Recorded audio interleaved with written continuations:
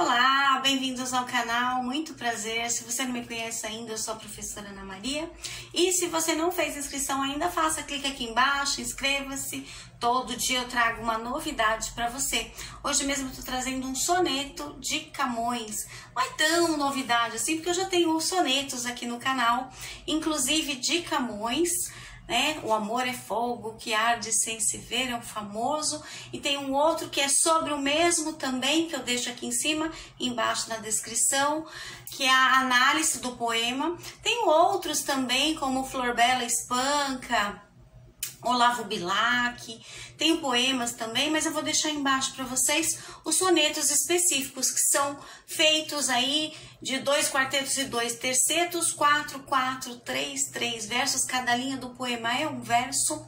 Esse poeta português lusitano é de Lisboa, capital, ele é muito conhecido mundialmente. A data de nascimento dele e falecimento não é muito exata, mas ela é 10 de 6 de 1579 ou 1580 é a data aí do falecimento. E aproximadamente de nascimento, que também não se tem certeza, sempre se coloca um ponto de interrogação, de 1524, né? Que no Brasil estava começando, né, o descobrimento do Brasil, né, os portugueses vieram e, e lá ele tinha contato com a nobreza, né, com o rei. Ele é conhecido como o autor da epopeia Os Lusíadas, que conta lá a história dos heróis, né, que conta a história de Vasco da Gama. Então esse Os Lusíadas que é famoso é de 1572, né, o ano de publicação, foi a primeira epopeia publicada. Então para o mundo, né? Foi muito importante.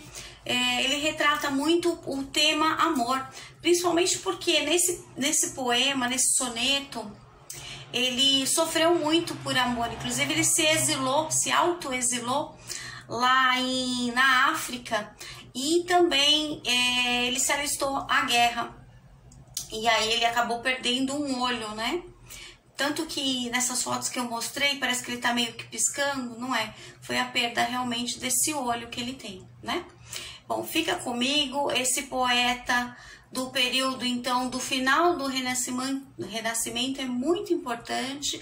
Tenho certeza que você vai gostar. Se atente a algumas palavras, porque às vezes ele fala umas coisas, por exemplo, tão docemente, ou seja, de doce, né? O modo doce de ser é, consertados no, no, segundo verso com C e C. Então não é de consertar a amada, não, porque ele usa o eu lírico, né?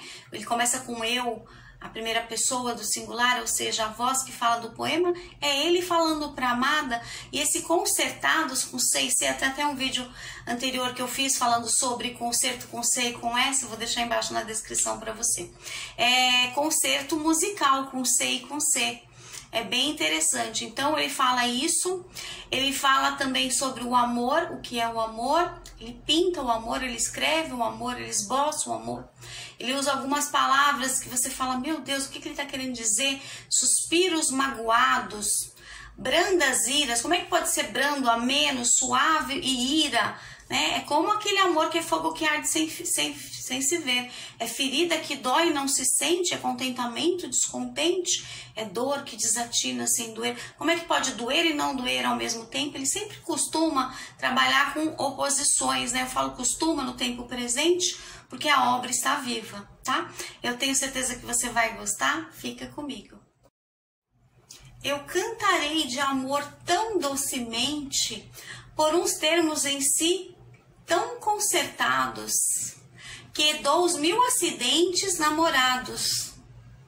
Faça sentir ao peito que não sente. Farei que o amor a todos avivente, pintando mil segredos delicados, brandas iras, suspiros magoados, temerosa ousadia e pena ausente. Também, Senhora, do desprezo honesto, de vossa vista branda e rigorosa, contentar-me-ei dizendo a menor parte, porém para cantar de vosso gesto a composição alta e milagrosa. Aqui falta saber, engenho iate. Espero que você tenha gostado e até um próximo vídeo.